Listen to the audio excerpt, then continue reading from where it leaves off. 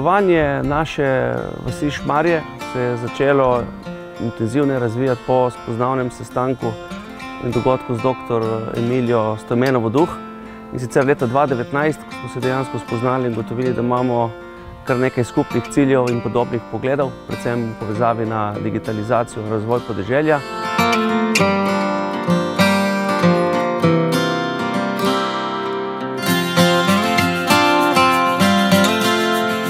Uvajanje digitalnih postopkov in same digitalizacije na podeželju je velik izziv ne samo pri nas, tudi v Sloveniji. Slovenska Istra je tukaj še posebej, bom rekel, bila zgodovinsko konotirana z določenimi dogodki in situacijami. Zgodovinsko, zgodovinsko gledano je bilo pri nas v Slovenski Istri še toliko težje pristopiti z različnimi razvojnimi projekti. No, v Šmarjah smo od leta 2012 naprej dokazali, da smo odprti za razvoj, z obnovo Vaškega trga in danes kot ena od pilotnih vasi, pametnih vasi v Sloveniji, tudi skupaj razvijamo napredne digitalne produkte.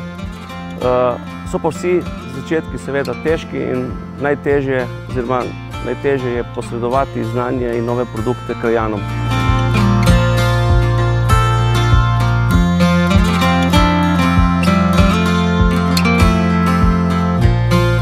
Kljub temu mislim, da smo v Šmarjah dokaj uspešni, kljub temu, da je starostna populacija relativno, rekel, pomaknjena v ta višji starostni razred. Kljub temu imamo mlade zagnane ljudi, ki smo jih tudi uspeli v okviru Vaškega odbora Šmarje vključiti v razvoj, ki so tudi predstavniki iz različnih predelov naših Šmarij, tako da uspešno komunicirajo tudi na terenu, v krogu svojih kontrat, rečemo pri nas. In seveda na tak način tudi uspemo sproti vsa znanja in vse prakse preveriti na terenu in tudi predstaviti.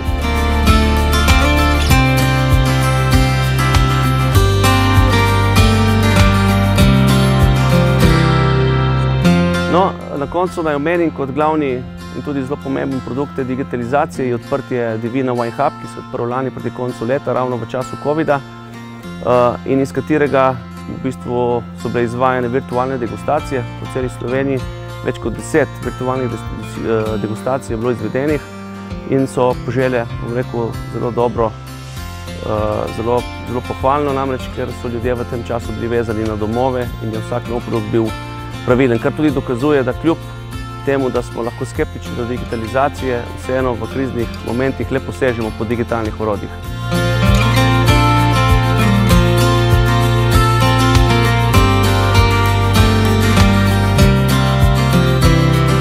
Virtualne degustacije, ki smo jih razvili v okviru Divina Wine Hub, ekipa, ki tukaj vodi Divina Wine Hub, je pokazala, da je ta čas bil zelo izziven, da je bil priložnost, da ni bil toliko negativen, kolikor smo sicer doživljali ta čas, ampak da je bilo tudi hkrati priložnost, da razvijemo nove inovativne produkte.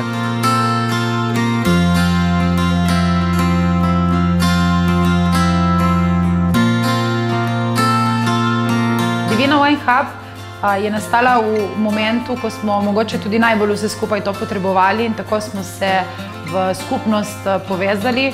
12 mladih vinarjev Slovenske Istre smo jih združili v eno pisarno, trgovinco, v tak prostor, kjer se lahko srečujemo in ustvarjamo nove zgodbe ob vinu.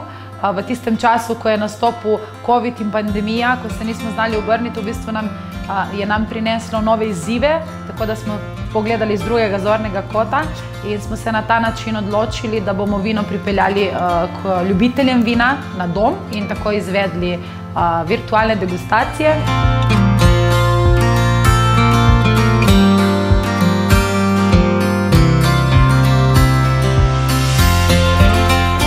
Nam je pomenilo tudi to, da nas je podprla lokalna skupnost v sodelovanju s predsednikom krajevne skupnosti, gospodom Andrejem Medvedom in na ta način smo se znova povezali pridelovalci in podeželje, od koder smo v bistvu začeli z razno raznimi aktivnosti.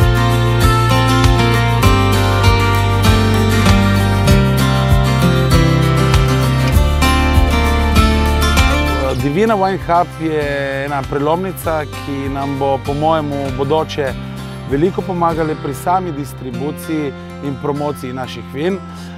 Tako logistično kot tudi v bistvu, da bomo na enem mestu lahko vinarji sami v bistvu razkazani in da nas lahko provajo kot naše produkte.